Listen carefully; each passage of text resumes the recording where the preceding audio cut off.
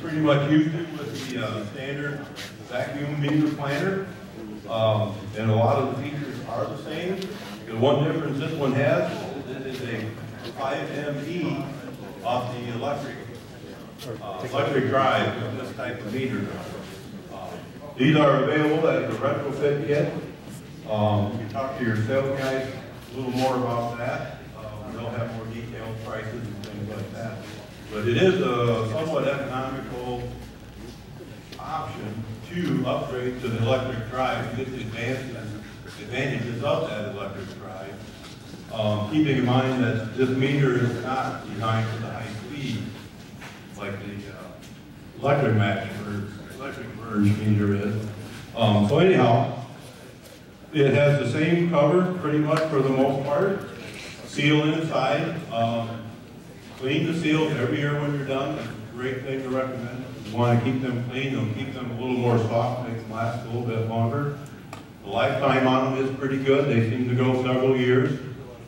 Um, if you start noticing some grooving or um, just any cracking, usually in the corners here, they may start to crack. That's a good time to replace them. You can just pop them right out, slip new ones right back in. They're not hard to replace.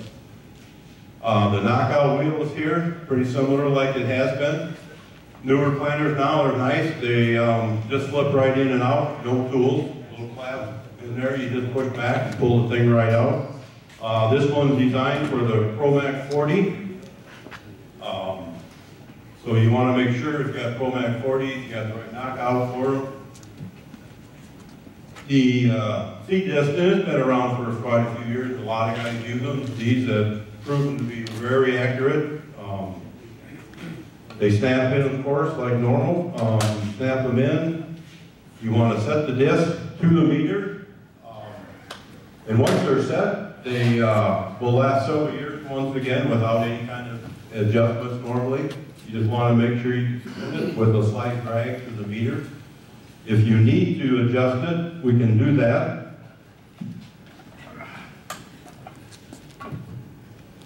Pretty quickly also, a little hitch pin in here.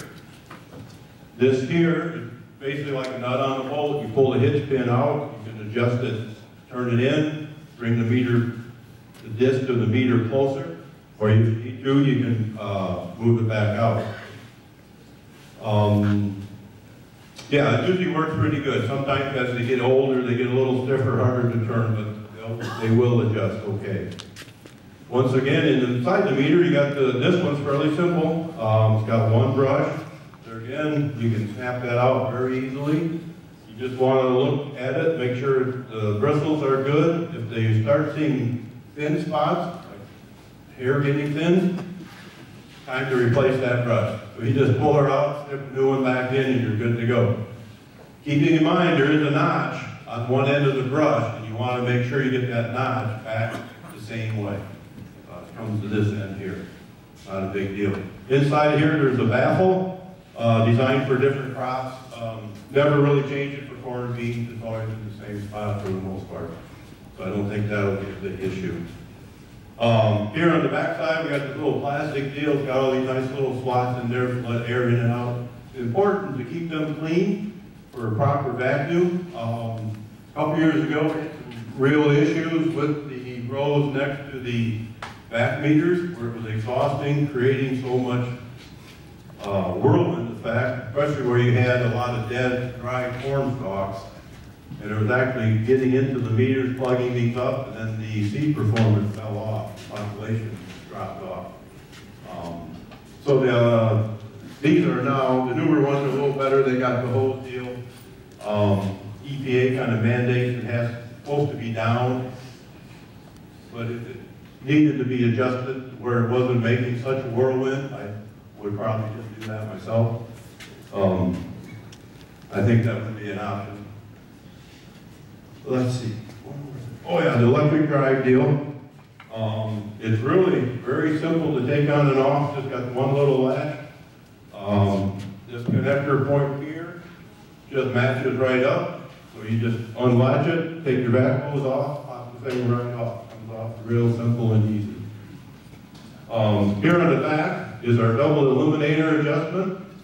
this came out with a couple years. Um, On the number five adjustment is where we would set the initial adjustments for your three sixteenths on the eliminator onto your seed hole, and you can adjust it down from there or up from there. You have half notches between each number, so it can go from zero to ten. So I don't think many times you really use that much of the range.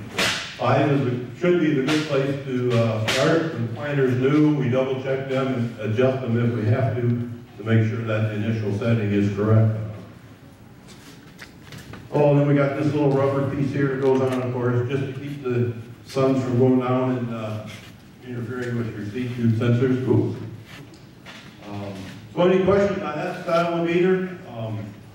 It's a lot, basic meter, a lot of it, just like it's been for quite a few years, but it is made now for the ME5, and so you can upgrade to get to the advantage of the electric drive. No question, uh, Anthony will talk about the ExactEmerge. All right, what we got here is the, uh, the new ExactEmerge meters. The, this one's been updated, it's new off of this planner. Um, the wear points and settings on this are quite a bit different than what the, uh, the original meters were. Get this disc on here, you turn it. You get it locked down, you want, you don't want to, uh, spin it, you don't want any, you want quite a bit of drag, you don't want to have any free stem on it.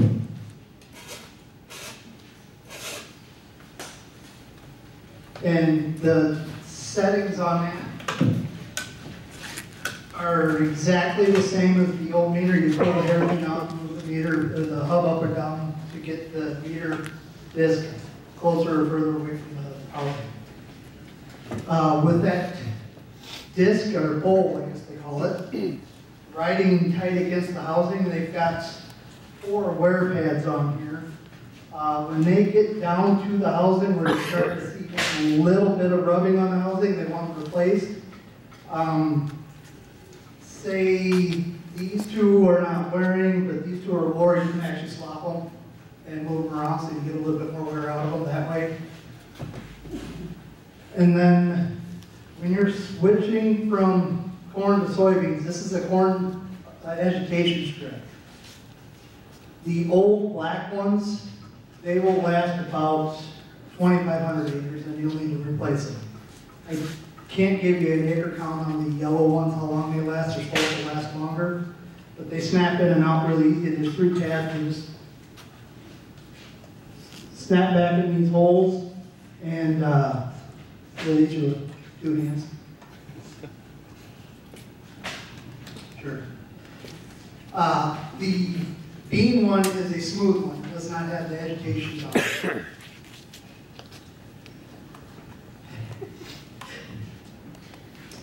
And then there's a, a knockout wheel on this that would go in the, uh, the cover here, it just snaps back in.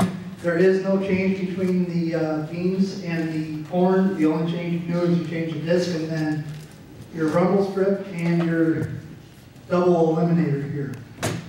If you're in beans, the double eliminator goes all the way down, and then if you're in corn, there's three different settings on where that would go.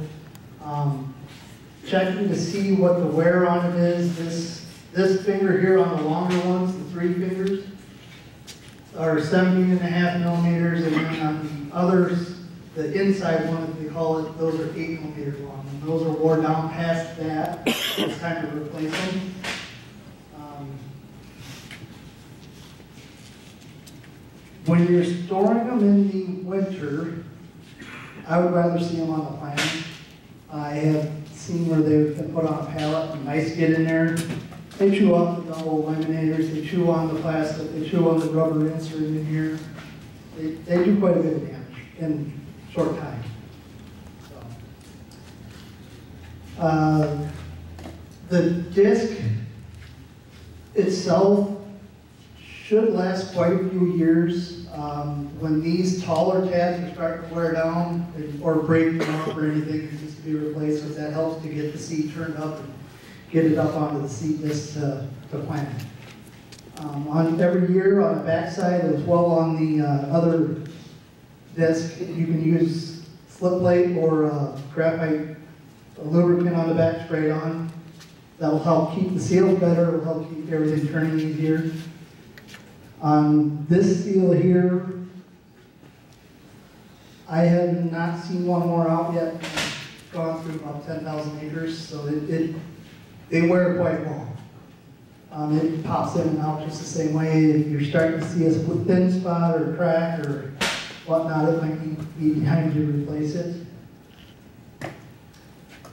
On the double eliminator itself, if the fingers are starting to wear off, or the points are starting to wear off or are broken, you gotta replace the wheel, you can get just the wheel, or if it's loose, you need to replace it as well. On the brush belt, we have brush here.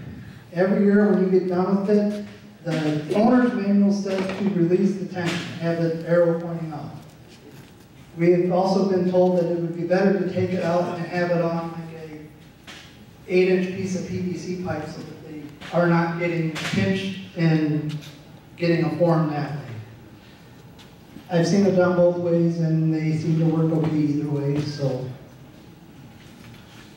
whichever way you would like to do it, it's fine.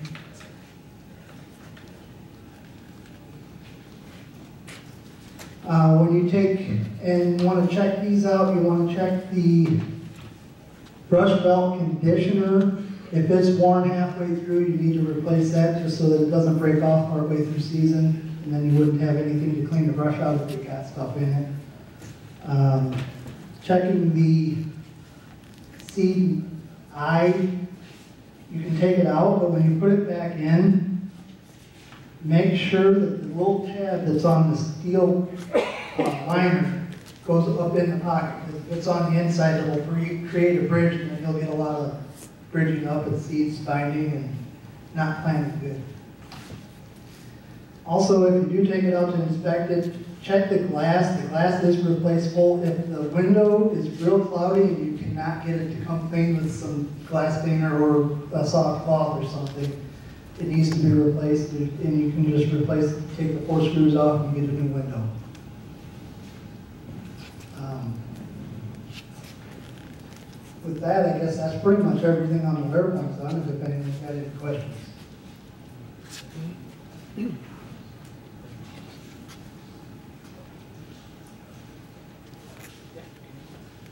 Well, we were just thinking, uh, with the Zach Alert meter now, um, they're recommending the eighty twenty talc.